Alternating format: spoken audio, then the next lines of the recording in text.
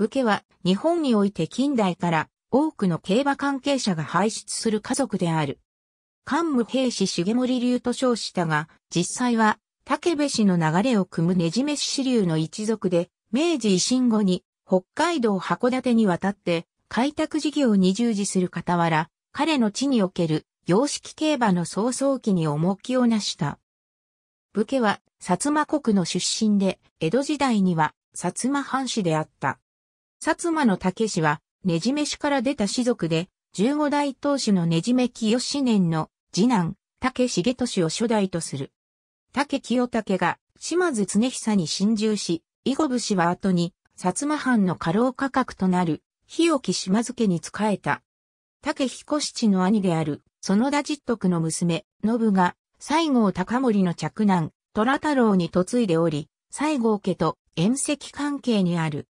流星の弟、西郷継道は、日本の近代競馬における最初の日本人馬主としても著名である。太平洋戦争前後からは、数々の騎手や調教師を輩出し、その多くは近畿に移っている。それぞれ、中央競馬騎手の竹国彦、竹豊、竹幸四郎が著名である。競馬一族としての武家の祖は、薩摩藩士園だけから武家へ養子に入った竹彦七である。その実刑、園田実徳も大きな影響を及ぼした。両者の父、園田彦右衛門は武家の出で、彦七は武家へ戻る形となっていた。歴史学者の大江忍は、西郷隆盛に私縮していた実徳が、西南戦争に、この絵将尉として従軍し戦死した竹清澄の後を弟に継がせたものだと推定しており、これに従えば彦七が養子に入ったのは1877年以降のことになる。明治維新後、兄弟は開拓士として北海一緒か別々かは定かではないが、実徳が開拓士出資を命じられたのが1872年のことである。私は今後、彦七は開拓士官園の70官業試験場に勤務し、実徳は道南部の船舶、鉄道運輸整備事業に参画して財を成した。実徳は実業の一方、1883年に函館体系ら4名と共に北海道競馬会社の発起人となり、従来村落単位で行われていた採点競馬を脱する本格的な競馬の開催を主導。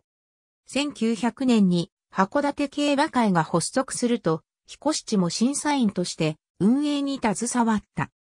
さらに1903年、家畜改良の必要を感じた実徳は、北海道庁から函館市議協庁の土地を借りて、園田牧場を創業、その経営を彦七に任せた。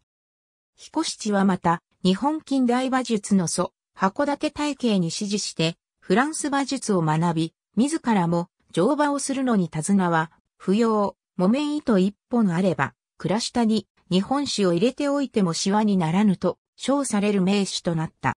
端正な容姿で気候自然とした彦七は、箱と道南の不女子活合の的であったとされる。主な弟子に谷栄二郎がおり、梅田康夫や加陽忠が孫弟子にあたる。また長男、義彦によれば、後に日本競馬会で大美系と称される、尾形東吉や、その兄弟子の内藤誠一、大正期の横浜に大厩舎を構えた中住与之助も、彦七の訓導を受けた。彦七には七人の子があり、内長男の義彦が、園田牧場を継いだ。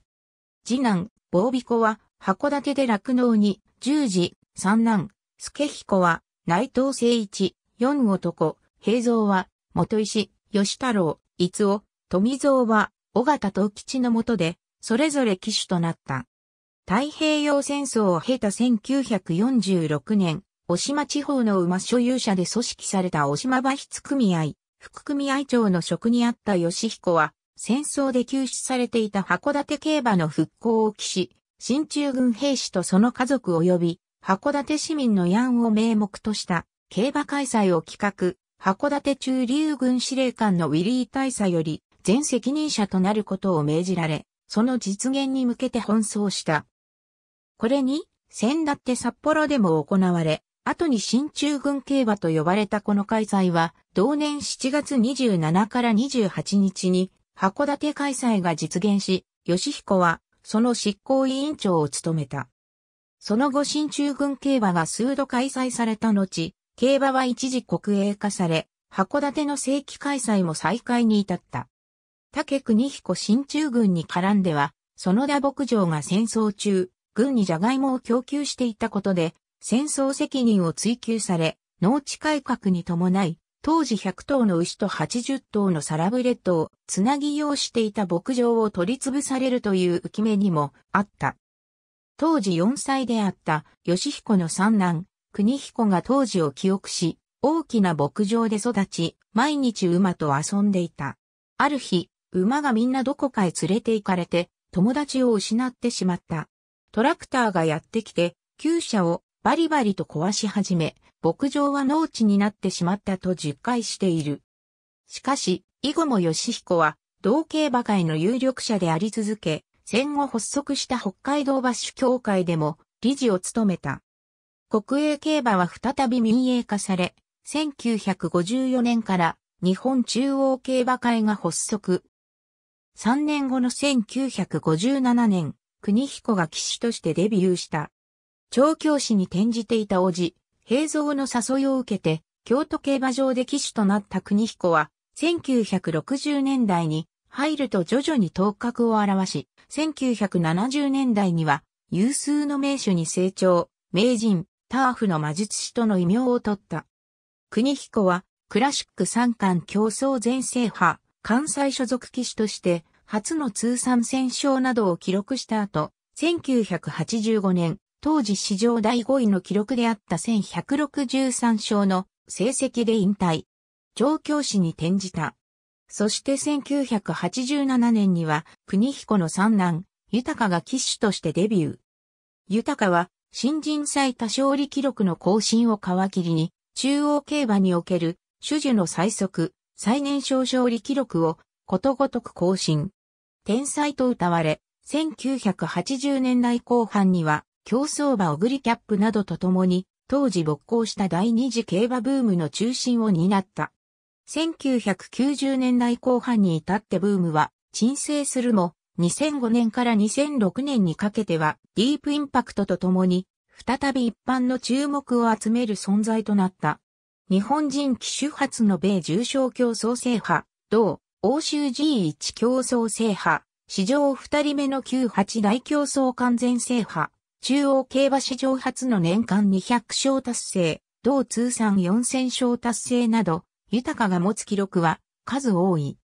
1997年には、豊の活躍に触発された4男、幸四郎も、騎手としてデビュー。国彦の管理馬、大隅大空を借り、デビュー2日目で、重賞勝利という史上最速記録を作り、以後も複数の GI 競争を制するといった活躍を見せている。豊と幸四郎はテレビタレントとしての活動も行い、豊は1995年にアイドル歌手の佐野良子と結婚した。幸四郎は2017年2月末で騎手を引退し、調教師に転身した。彦七の四男、平蔵は騎手として目立った実績はなかったが、調教師としては、重賞20勝を含む通算735勝を挙げた有力者であった。他方、管理前の禁止栄養剤の投与による3年間の管理停止歴なども持つなど、不名誉な面もあった。竹秀俊平蔵には3人の男子と1人の女子があり、長男、公平は麻布十位だ。三男、栄翔は馬事公園花の15期生の一人として1967年に騎手デビュー。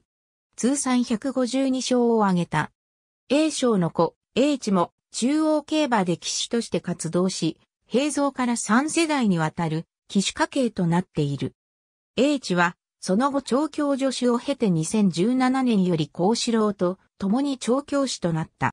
次男の優は、北海道静内郡静内町で武牧場を経営していたが、2003年に何者かによって殺害された。その死後も牧場は存続し、2009年には生産馬、スリーロールスが公平の管理で、菊花賞に優勝した。長女は、栄翔と騎手養成所で同期生だった作田誠治に嫁いでいる。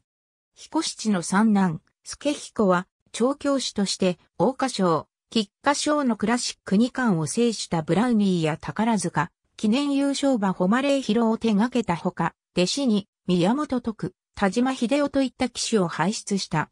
加藤慶治が孫弟子にあたる。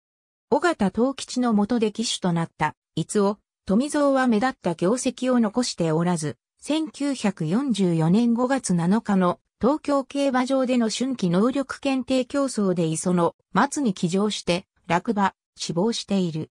騎手は軽量であることが求められるため総じて小柄である中、現役騎手の豊は170センチメートル、騎手経験者だった3人のうち、国彦は身長172センチメートル、高志郎は177センチメートル、英知は169.5センチメートルと騎手としては、長身の家系となっている。ありがとうございます。